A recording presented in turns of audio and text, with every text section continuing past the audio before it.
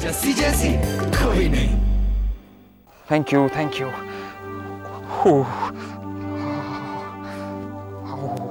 जल्दी जल्दी जल्दी पकड़ो जल्दी पकड़ो। गर्मा गर्म चाय तुम्हारे लिए।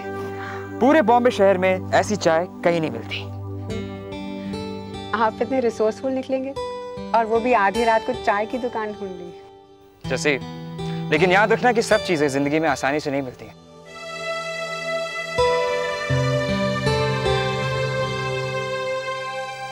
जैसे तुम जो कुछ भी कहो। जो कुछ भी हुआ है, मैं उससे बहुत खुश हूँ।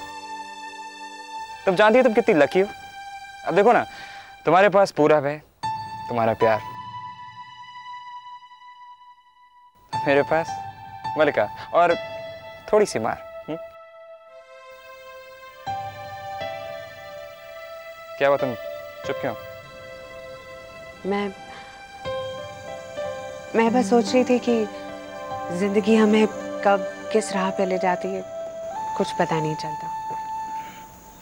आपको पता है अरमान साहब, जब मैंने घर की बाहर की दुनिया में नया नया कदम रखा था ना तो मेरी ये ज़िंदगी के बारे में सोच बहुत अलग थी।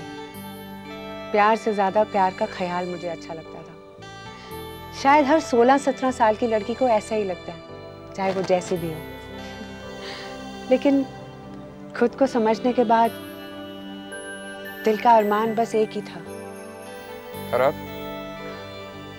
अब अब मैं बाहर की दुनिया और खुद को दोनों को साथ साथ समझने की पूरी कोशिश कर रही हूँ। हम्म, जैसे कभी कभी जो हम सोचते हैं वो होता नहीं है और जो नहीं सोचते वो हो जाता है।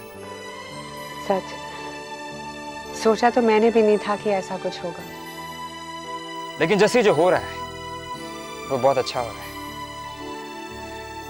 इंसान जिससे प्यार करता है ना, ज़िंदगी उसी के साथ गुजारनी चाहिए। सब कुछ बदल जाता है साहब प्यार भी, प्यार के मायने भी। मुझे देख के कौन कहेगा कि मुझे किसी से प्यार है, या किसी को मुझसे प्यार है? मेरे लिए तो प्यार वगैरह सब झूठी बातें हैं। और मेरी जैसी लड़की को तो प्यार के नाम पे हमेशा दुख ही मिलेगा। और मिला भी। प्यार कभी सोच समझ के नहीं किया जाता ना। प्यार तो एक बेवकूफ़ी है। एक ऐसी बेवकूफ़ी जिससे किसी का कुछ नहीं बिगड़ता। एक एक अजीब सा एहसास। एक अजीब सी गुदगुदी जो पूरी दुनिया आपको देखी जा रही है और आप बस चुपचाप अरमान सर से प्यार किए जा रहे हैं।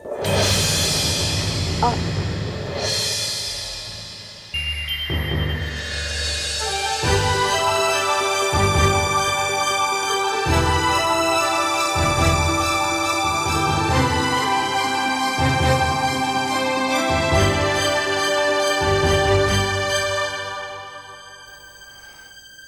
पूरा मेरा। तुम्हारा मतलब है पूरा मेरा। पूरा मेरा जैसे। पूरा। पूरा।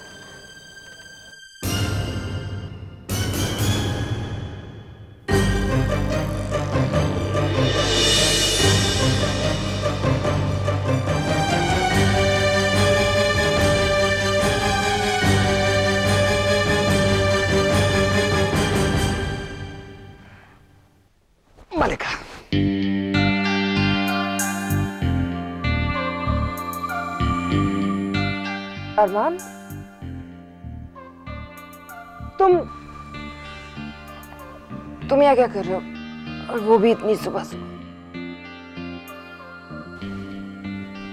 कल रात को कहाँ थी मलिक मैं कहा थी का क्या मतलब?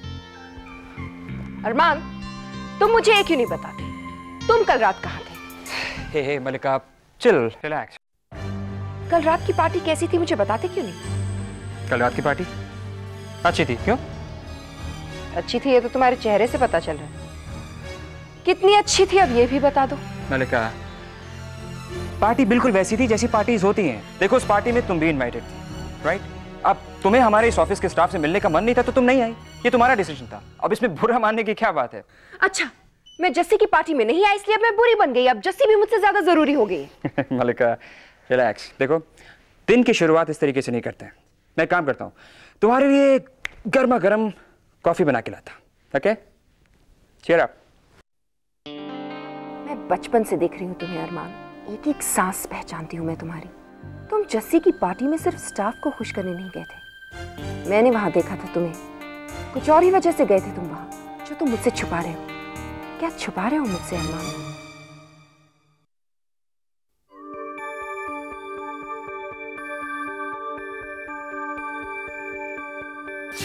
तो एक ऐसी बेवकूफ़ी है जो जो कभी किसी का कुछ नहीं बिगाड़ती है। एक अजीब सा मज़ा, एक अजीब सी गुदगुदी।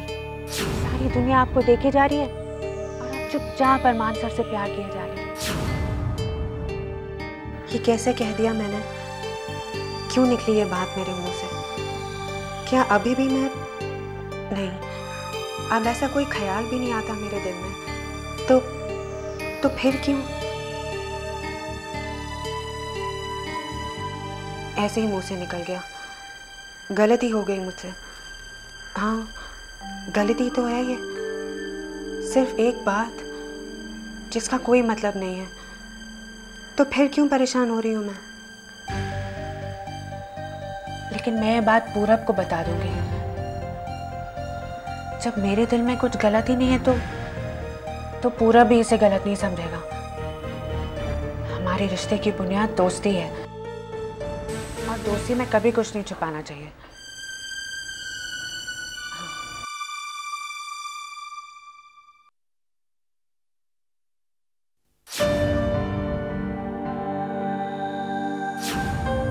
जो मैंने देखा, उसमें कुछ ऐसा नहीं है जिससे मैं जस्सी पे उंगली उठा सकूँ।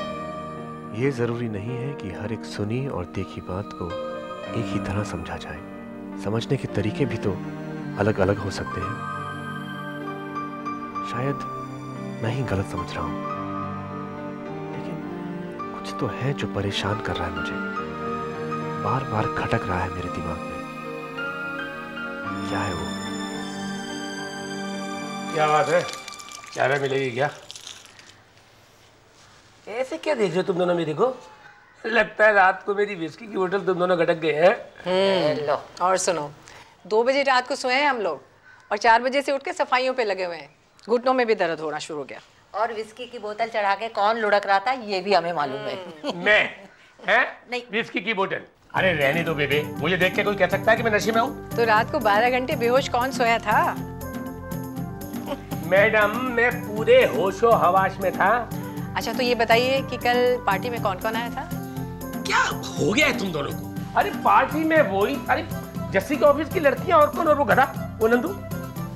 ये जस्सी की ऑफ़िस की लड़कियाँ क्या तो नाचती हैं क्या गाती हैं कमाल करती हैं? अगर ये सब कुछ ऑफ़िस में करती होंगी तो बेचारे सूरी का क्या हाल होता होगा? कभी मिलेगा ना बेबे? तो पूछूँगा अरे तो कल रात क्यों नहीं पूछा तूने? घंटों तक तो उससे बात कर रहा था तू बातें? उससे? हाँ? मैं? कहा? यहाँ। कल रात को वो यहाँ आए थे। लेकिन आप तो उनसे ऐसे चिपक गए जैसे बरसों का बिछड़ा हुआ दोस्त मिला आपको। ये हो ही नहीं सकता। बताओ क्या क्या हो रहा था? मिस्टर सूरी ये है जस्सी का सर्टिफिकेट मिस्टर सूरी ये जस्सी की बचपन की फ़ोटो। ये जब वो एक साल की थी ये सवा साल की। अरे और तो और बिल्लू तूने उसे लोरी भी सुना दी। अरे बिल्लू तू तो होश में ही नहीं था। बेबी ये वाकई में हुआ था? मैं सोच रहा था ये सब मैंने सपने में देखा है। तभी सोच रहा था इतने सालों से जानता हूँ सूर्य के बच्चे को ये अचानक इतना अच्छा आदमी कैसे हो गया? बेचारा अब तो वो जस्सी की ज़िंदगी पर कहानी भी लिख सकता है। अरे ठीक है बेबी कभी कभी तो मौका मिलता है जस्सी के बॉस को अपने घर बुलाने का। जी मौका तो आपको भी बहुत मिला था लेकिन आपने उसे इतना बोर कर दिया कि बेचारा डर के मारे अब कभी भी नहीं आएगा। एक बात बताऊँ अमृत मैंने उससे कुछ गलत तो नहीं बोला होगा। वैसे भी जब आदमी बहुत खुश होता है ना तो उसके मुँह से जो बात निकलती है ना वो सीधे दिल से निकलती है। अगर वो जरा सा भी समझदार होगा ना तो एक बात ज़रूर समझ गया होगा कि मैं उससे झूठ तो नहीं बोल रहा ज़रूरी नहीं है कि मुँह से जो भी निकल जाए वो सच हो। मैं ये बात पूरब को बताऊँगी। पूरब ज़रूर समझ जाएगा। क्या करूँ? मसाज से कम नहीं होता और तू जूस भी तो नहीं पीती है। अरे वरी नॉट वीरू आ गया है सरदर्द को मिटाने के लिए। वीरू तू पागल हो गया है। हथौड़ा लेके आ गया। अरे रूबी आंटी ये सरदर्द मालिश और जूस से नहीं जाएगा इसके लिए तो हथौड़ा चाहिए। हट जाओ। अरे क्या? आगे मत बढ़ना एक लगाऊँगी। और मेरे हाथ में ज़्यादा दम है तेरे हथौड़े से हाँ? मैं नहीं मैं नहीं अलाऊँगी। बोलो। क्या करता है तू? अरे हथौड़ा नहीं मारूँगा तो ड्रॉर कैसे खुलेगी? क्या? ड्रॉर हाँ अरे ड्रॉज में ही तो है सरदर्द की गोली बस आप हटो आप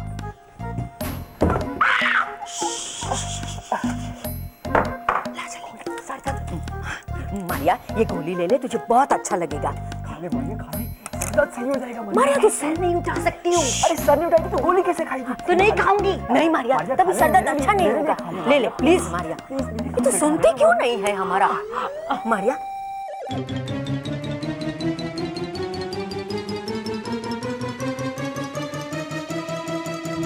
मुझे यही बात पसंद नहीं है। रात को पियो फिर सर पकड़ के बैठ जाओ। इसमें क्या मतलब है? देख बिंदिया अगर मारिया की हालत वाकई खराब है ना उसको घर भेज दो। और उसका काम आज तुम लोग संभाल लो। क्या कर दे कभी भी नहीं जाएगी। उसे घर में इतना पूछेगा कौन? वो छोड़ ये बता कि तेरी मुलाकात कैसी रही? कैसी? किससे? भाई गॉड जस्सी अब इतने हैं कि पूछना पड़ रहा है किससे? भाई पूरब से ना। पूरब? मैं पूरब को कब मिली? नाटक। क्यों? तूने नहीं कहा था कि तेरी बिग बॉस से मुलाकात है? हाँ वो बिंदिया वो मीटिंग वैसी नहीं। अब देख नहीं पता ना तो मत बता लेकिन मुझे पता है कि ये आधी रात की मीटिंग्स कैसी होती है।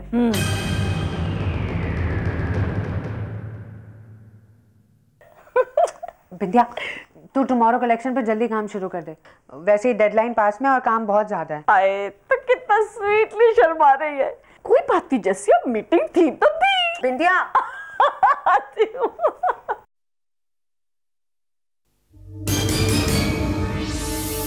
अमृत कल रात से मुझे ज़रा फ़िक्र हो रही है। बेबे कहीं आप इनके पीने के बारे में लेके तो नहीं परेशान है? हाँ। वैसे जब उसने पहली बार कहा था ना कि अब मैं पीना बिल्कुल छोड़ दूँगा तब मुझे यकीन नहीं हुआ था। लेकिन जब उसने कई महीनों तक नहीं पिया तो मुझे बड़ा अच्छा लगा। लेकिन अब कल रात बेबे मुझे तो लगता है कि ये सिर्फ़ एक दिन की बात थी। मुझे नहीं लगता ये दोबारा पिएँगे। भाई उम्मीद तो मुझे भी यही है। वैसे कल रात जब वो पी रहा था तो ऐसा नहीं लगा कि कई दिनों तक उसने नहीं पिया। और आज सुबह भी बिल्कुल वो ठीक ही है। लेकिन कहीं वो ये ना सोच ले कि अरे नहीं बेबे। ये सब सिर्फ़ इसलिए कि जस्सी की शादी है। लेकिन शादी में तो अभी बहुत दिन बाकी हैं। अगर ये सिलसिला इसी तरह चलता रहा तब तो गड़बड़ हो जाएगी ना? आखिर लड़की की शादी का सवाल है। अगर कहीं पूरब के परिवार वालों ने ये सब कुछ होते देख लिया तो क्या सोचेंगे वो लोग? आप बिल्कुल ठीक सोच रही हैं बेबे। बल्कि मैं तो ये सोच रही हूँ कि कल रात जो भी हुआ हम पूरा को उसके बारे में कुछ नहीं बताएँगे।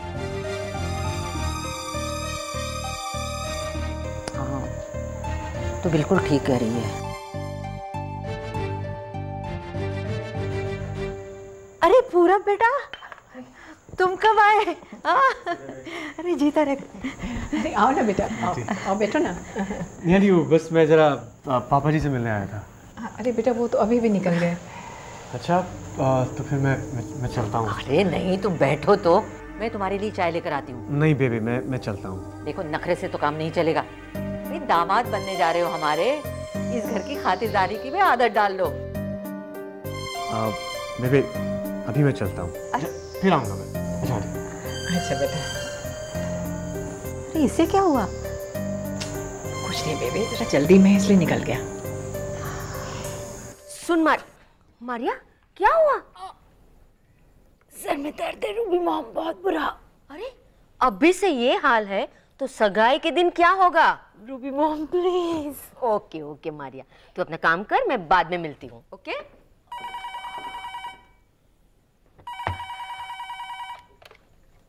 हेलो क्या हो गया तुम्हें मारिया? सगाई। सगाई कर रही हो तुम? अरे सा नहीं सर वो तो फिर किसकी सगाई? सर जैसी की सर। जैसी सगाई? किसके साथ? सब जैसे की सगाई पूरब मेहरा से हो रही है। व्हाट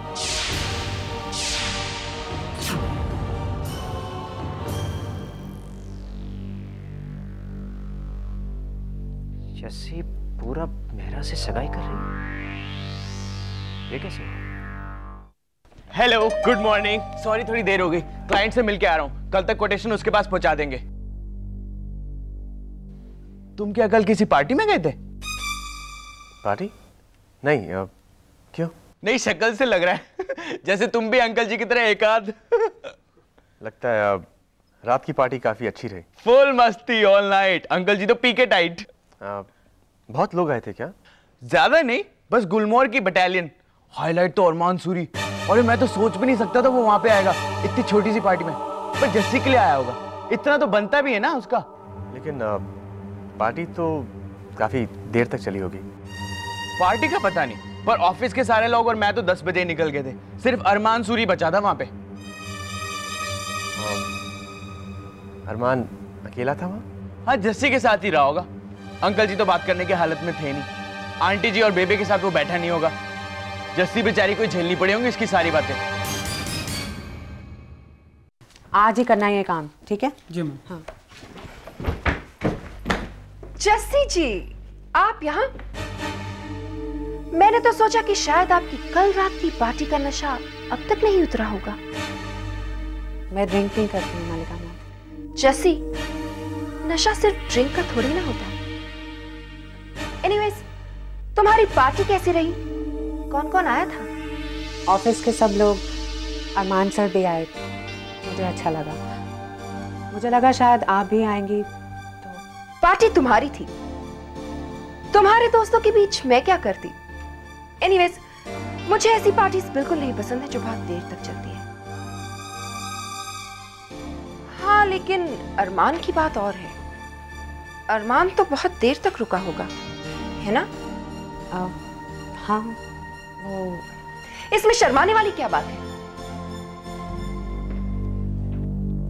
आफ्टर ऑल तुम्हारी सगाई की पार्टी में तुम्हारे अरमान सर देर तक नहीं रुकेंगे तो और कौन रुकेगा?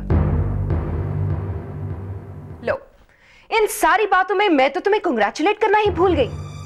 आफ्टर ऑल तुम्हारी सगाई पूरा मेहरा से हो रही है। जश्न तो मनाना ही चाहिए ना। कंग्रेचुलेशन जस्सी।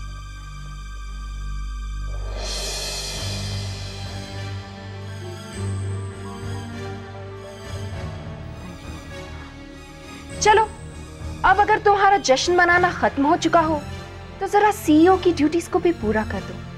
आफ्टर ऑल तुम्हें सैलरी इसी बात की मिलती है है ना?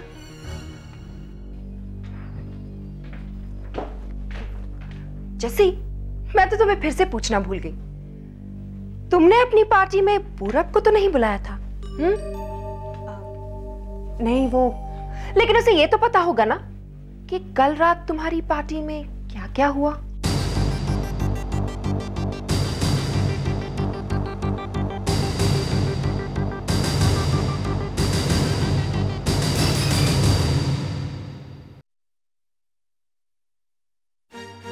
अभी तक फ़ोन क्यों नहीं किया जस्सी ने इतनी बिज़ी है। हो भी सकता है, लेकिन एक कॉल में टाइम ही कितना लगता है? दो मिनट? पूरे दिन में इतना टाइम तो या शायद शायद वो फ़ोन करना ही नहीं चाहती। हेलो? पूरा? हे जैसे क्या हुआ? कुछ नहीं। नहीं सब ठीक तो है ना? हाँ अभी तक तो ठीक है। पूरा एक्चुअली मैं तुम्हें फ़ोन करने ही वाली थी लेकिन कोई फ़र्क नहीं पड़ता। बिज़ी थी? बहुत काम था ऑफ़िस में। लेकिन बात तो करनी थी ना। तुमने भी फ़ोन नहीं किया मुझे। अरे इससे क्या फ़र्क पड़ता है? कि किसने फ़ोन किया? हुँ? मतलब तो बात करने से है ना? हाँ। और क्या? पूरा मुझे तुमसे कुछ बात करनी थी। जसी मुझे तुमसे कुछ अर्जेंट ये सामान सा। तुम बिज़ी हो? नहीं। कोई इंपॉर्टेंट कॉल है? हाँ। I I mean mean, uh, इतना ज़रूरी नहीं है। एक मिनट।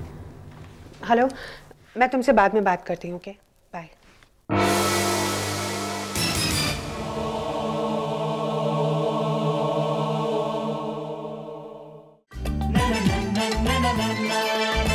जैसी ऐसी कोई नहीं। जैसी जैसी कोई नहीं।